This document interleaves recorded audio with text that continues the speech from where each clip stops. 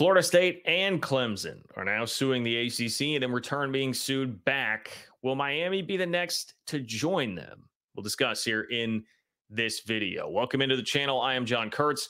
Here on this channel, we talk college football, conference realignment, college basketball all day, every day. Make sure you're subscribed if you are not. Live shows Wednesdays and Sundays. They are a blast. People from all corners of the college football world. It is a great time. And if you click the bell and subscribe, you'll know when that is happening so you can join in on the fun. If you could like the video, I would really appreciate that as well. Free and easy way to support the channel.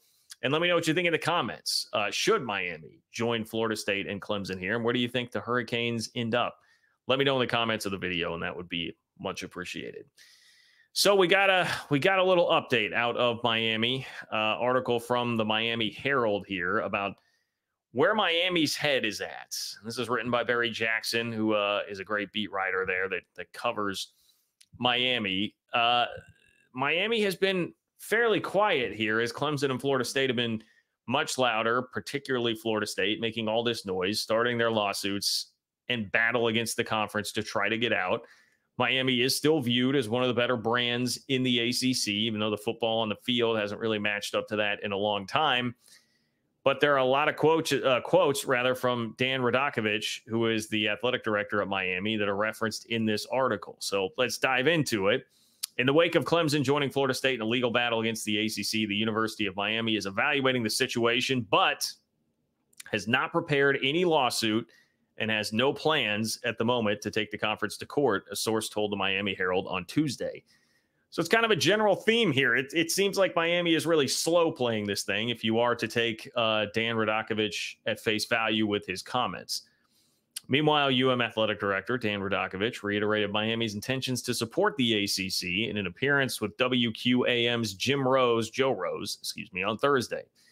Uh, here at the University of Miami, we are incredibly solid with the ACC.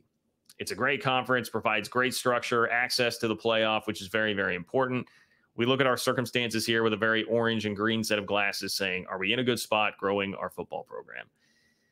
Those are more glowing comments, certainly, than what about anybody else has said at a North Carolina, Florida State, or Clemson about the ACC right now. Their public comments have been much more along the lines of, like, hey, love the ACC, been here a long time, been doing this thing for a while, but we've got to do what's best. And the landscape clearly is changing that's not really the tone that we're getting here.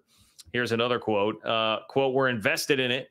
Brought Mario Cristobal here. He's establishing an incredible foundation. The ACC is still one of the Power Four conferences that are part of the college football playoff. A very active and vibrant member of that Power Four. We are very proud to be a part of that, a leading brand within the ACC, and will continue to be a part of it. Uh, Clemson's lawsuit against the ACC caught many by surprise and was viewed as a first step in the Tigers' expected attempts to exit the league, though Clemson didn't explicitly state in the lawsuit that it wishes to leave. So we're going to get a reaction here uh, from Radakovich about the Clemson lawsuit. And this, I'm sure, basically every ACC athletic director is having to deal with this right now, getting the questions about it whenever they're making some sort of public appearance. And here is what Radakovich had to say quote, I really didn't see the lawsuit coming at this point in time. Uh, almost every school in the ACC has gone to the home office and looked at the documents and just made sure they understood all the different things associated with the grant of rights, television contracts. I was a little surprised that Clemson did that at this point in time.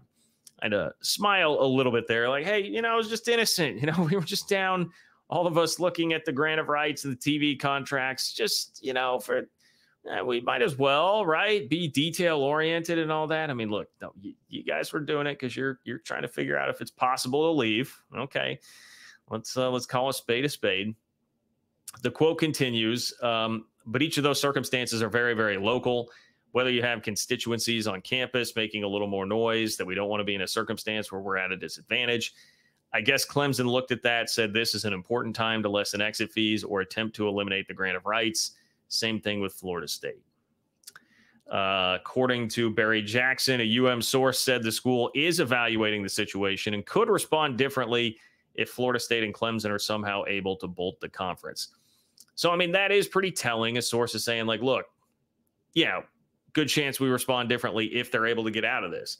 If they go fight this battle, they go get down and dirty in court and they win, and it sets that precedent for everybody else. Yeah, of course, we're not going to be stupid and not follow them. That's that's really my read on that with Miami. But they do not appear to be in position to want to be one of the real carnival barkers up at the front of this. Uh, article says at the moment, UM does not have an invitation to join the Southeastern Conference or the Big Ten, according to a source with knowledge of the matter. So glad we could get that cleared up, everybody. Miami does not at the moment have an invitation to join the SEC or the Big Ten. I would have to think Miami's probably more valuable to the Big Ten here just because the SEC obviously is already into the state of Florida. And if they wanted to add somebody else, Florida State seems to make more sense than Miami does there. Uh, but if you're the Big Ten, I mean, that could be a way to get at least a foothold in the state of Florida, which I definitely think would hold some value. But this is, I mean, part of the problem here. Like they, they don't have an offer, and they don't have an offer because they're they're not going to be an additive add right now. This would be much more akin to a a an Oregon or a Washington joining the Big Ten and taking a lesser cut to get in that league if it were to happen. Uh, source told Barry Jackson that Miami would listen if either conference called, but its hands are tied at this point. I mean, all of this just, again, you have to take it at, with a bit of a grain of salt, but at the same time, none of it is just very aggressive. And so much of what we've seen from Florida State and Clemson has been very aggressive. North Carolina, not quite as much so, a little more calculated, but still fairly aggressive uh, at times with with their quotes, and certainly not shying away from saying like, "Hey, the landscape has changed. We're not going to be tethered to the ACC." Uh, the article mentions the SEC and Big Ten's level of interest in Florida State and Clemson is unknown. Uh, the revenue disparity grew wider this week with the finalization of the revamped college football playoff. Beginning in 2026, each Big Ten and SEC team will earn more than $21 million annually under the new agreement. ACC teams will earn just over $13 million annually from the college football playoff. Quote Here's another Radakovich quote, the last one that I will give to you. Those dollar differentials aren't going to change the path of how we move forward as an organization. It's not going to change uh, from how we are looking to build our football and basketball programs. I guess you can say that. I don't understand how it actually would be true, though. I mean, it is quite literally going to affect how much money you will have to spend on coaches and support staff. Um, if we're talking about like directly, directly tying in there, and obviously facilities and things like that that go with it too. But hey, Radakovich public stance seems to be just kind of like uh, the guy in Animal House, right? Like every, all is well, everything is fine. Uh, some some shades of that at least coming off the top publicly from Miami, but you really don't with Clemson and Florida State doing this now, you kind of can just sit back if you're one of the other ACC schools. Like these two are fired up enough to go fight the battle for you. Uh, Radakovich told WQAM that a two uh, two mega conference future is a possibility, but he doesn't foresee that in the short term. So no mega conference is coming soon, according to uh, the athletic director at Miami. But anyway, different tone struck there than what we have seen from two and maybe three, perhaps if you want to include North Carolina into that, three other ACC schools. Let me know what you think in the comments. Where does Miami end up? How do you feel about Miami's reaction to this right now? Let me know what you think. SEC or Big Ten or something else for the Canes. Uh, appreciate all of you guys. Please like the video on your way out. I would appreciate that. And uh, I will talk to you all soon. Thanks for watching.